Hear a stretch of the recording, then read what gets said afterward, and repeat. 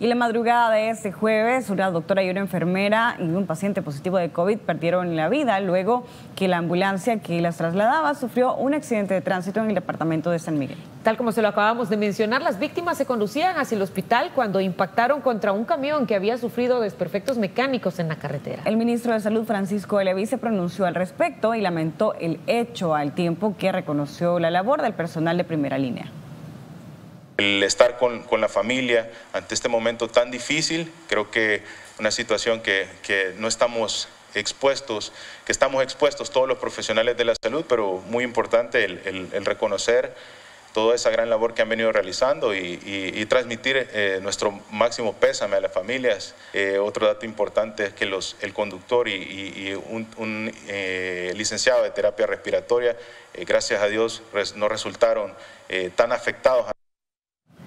En horas de la tarde, la Policía Nacional Civil informó de la captura del conductor del camión por ser el presunto responsable del hecho. Las víctimas mortales fueron identificadas como Elvira Maldonado, de 28 años, Silvia Lara, de 48 y Trinidad Zavala.